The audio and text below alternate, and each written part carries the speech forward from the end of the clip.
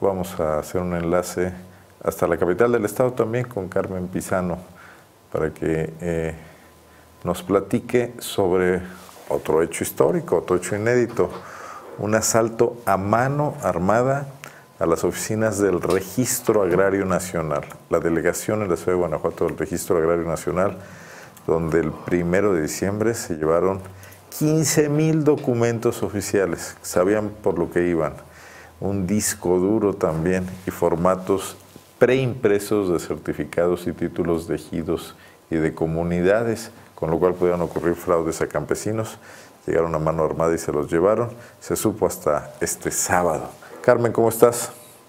¿Qué tal Armando? Buenas tardes, buenas tardes al auditorio. Pues sí, comentarte esta información que se daba a conocer el día sábado por el delegado del Registro Agrario Nacional, Bonifacio Rodríguez Olivares. Y bueno, comentarte que mm, él comentaba que se hizo la denuncia una prácticamente una semana después, porque estuvieron levantando como un inventario para saber qué folios se habían llevado y cuántos se habían llevado. o sea, a la Procuraduría de Justicia fueron una semana después. No, no, a la Procuraduría de Justicia fueron el viernes. Eh, este, los hechos ocurrieron el jueves primero de diciembre alrededor de las nueve de la noche. Y a la Procuraduría fueron el viernes 2, 2 de diciembre. ¿Cuántos hombres armados, Carmen, habían realizado?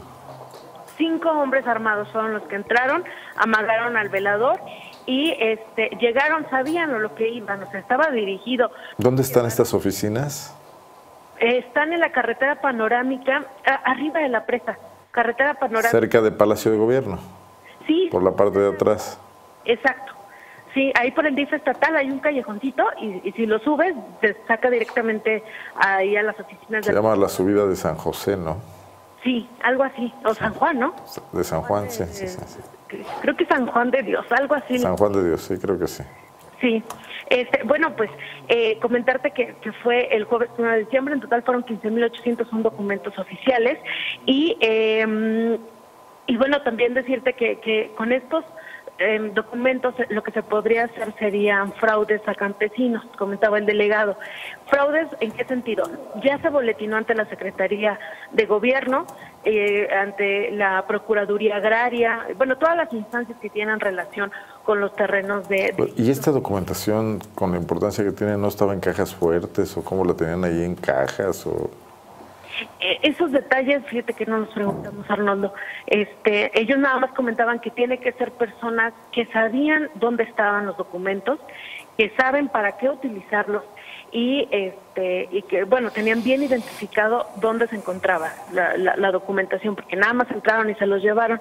Ellos no cuentan con cámaras de vigilancia pero que se reunieron con eh, Chuy Pérez Cáceres Jesús Pérez Cáceres el, secretario particular del procurador Carlos Amarripa y que se comprometió a llevar una investigación a que van a dar con los responsables por la delicadeza de los documentos.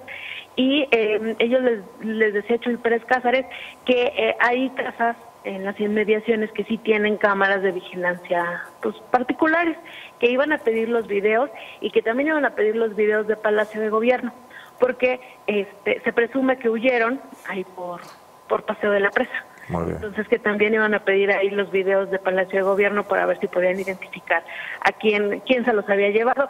Tenemos un inserto de Bonifacio Rodríguez, que es el delegado del RAN. Si te parece, vamos a escucharlo. Adelante, Carmen. Jueves pasado, primero de diciembre, eh, en la noche entraron a, robar a la delegación del RAN.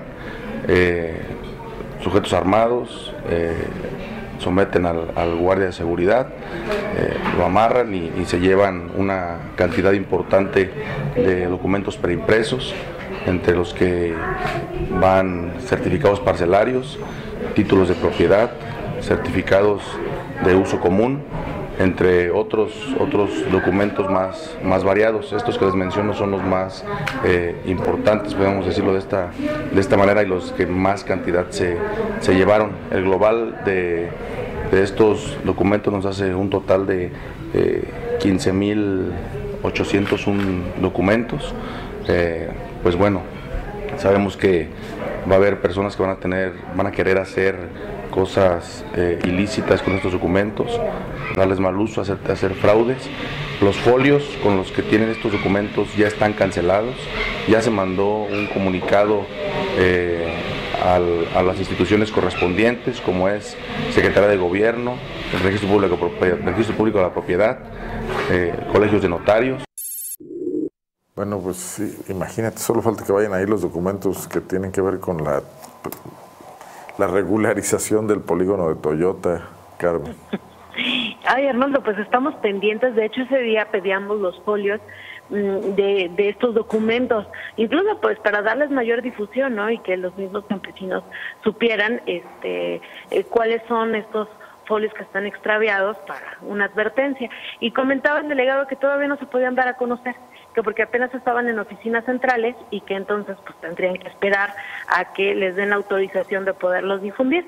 Pero bueno, estaremos muy pendientes porque como lo comentas, uno de los casos que está pendientes en el Registro Agrario Nacional y que bueno, mediáticamente ha, salido mucho o, es de, interés es el, caso Toyota, porque eh, todavía está pendiente la acreditación de más de 100 hectáreas eh, porque el gobierno, de que el gobierno del estado va a tener que donar a, Toyota y están detenidos ahí en el registro agrario nacional porque está también como en una especie de congeladora el decreto presidencial y ¿por qué? Porque este, el gobierno del estado no ha podido acreditar que ya se pagaron todas las este, eh, las afectaciones a los campesinos. Entonces, bueno, mm. ahí estaremos muy pendientes porque es uno de los casos que están en el Registro Agrario Nacional, en la delegación del Registro Agrario Nacional. que muy, raro este robo a mano armada, a escasos quizás 100 metros del Palacio de Gobierno de Guanajuato, del DIF estatal, en una zona que pues, hay, muchas eh,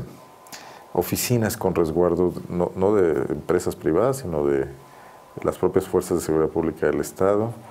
Vamos a ver qué pasa con la investigación de la Procuraduría. Carmen. Sí, así es, Arnoldo. Estaremos muy pendientes. Y esta información nos ha dado el fin de semana, pero comentarte que ya está